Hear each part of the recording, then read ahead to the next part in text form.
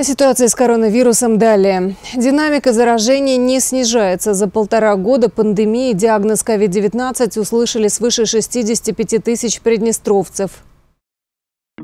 Ковид бьет антирекорды. Число заболевших достигло нового максимума – 618 заражений за последние 24 часа. Предыдущий максимум зафиксирован 20 октября – 609 случаев. Больше заболевших было только прошлой зимой. На пике волны 17 декабря 2020 – 683 инфицирования. Корона не отступает, заражает все больше людей. Неблагоприятная эпидемическая динамика сейчас во многих странах мира. Рекордный суточный прирост выявили в Болгарии Болгарии. Растет число госпитализаций и летальных исходов в Украине. Больше 20,5 тысяч заболевших и 692 смерти. В больницы за день попали почти 6 тысяч человек с симптомами коронавируса. В Молдове количество заболевших COVID-19 за сегодня составило больше полутора тысяч человек. Там установлен антирекорд смертности. За сутки в результате осложнений погиб 41 человек. Госпитализировано почти 2,5 тысячи пациентов. Каждый десятый тяжелый тяжелый, 31 подключены к аппаратам искусственного дыхания.